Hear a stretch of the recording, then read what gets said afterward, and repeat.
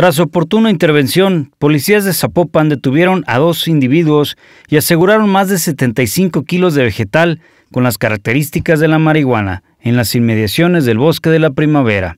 En el operativo se contó con el apoyo del Escuadrón Aéreo Halcón y personal de la Policía del Estado. Los hechos ocurrieron al momento en que uniformados que realizaban su recorrido de vigilancia sobre carretera a Nogales, a la altura del entronque de la salida a Vallarta, avistaron a una pareja tripulando un taxi, quienes al percatarse de la presencia policial intentaron darse a la huida, por lo que los uniformados de inmediato iniciaron la persecución. Para Noticel.mx, Luis Enrique Sánchez.